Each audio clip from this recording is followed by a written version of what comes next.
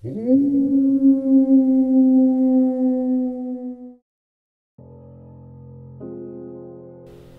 many stores and establishments that provide videos of a less than savory manner, a business card is kept. Some stores keep it well hidden, locked in a safe, and will deny its existence. Others will show you if you ask for it by name.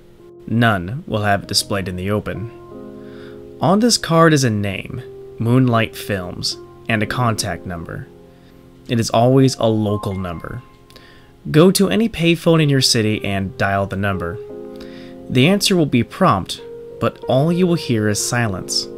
Wait 30 seconds. Then, you will be served.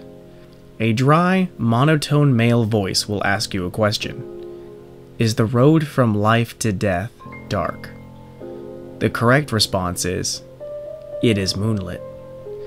If you answer with anything but the correct reply, he will hang up on you. If you fail the first time, I'd suggest not trying again. But if the question is answered properly, the man will say one address in your city and then hang up. Go to this address, and you will find that it is a small, dingy apartment.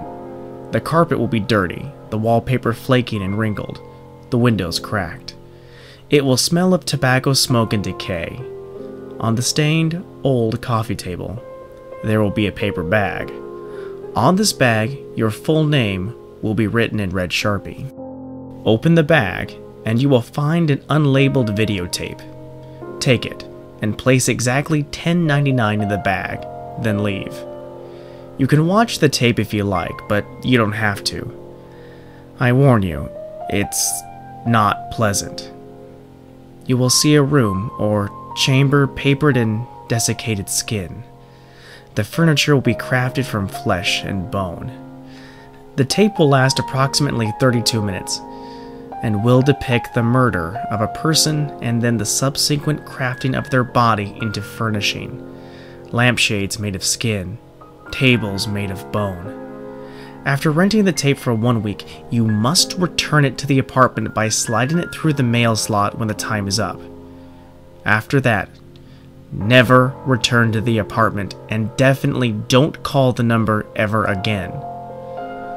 I'd also suggest you not keep the tape more than a week. The owners will not be satisfied with a mere late fee. And you know, a good home can never have enough accessories.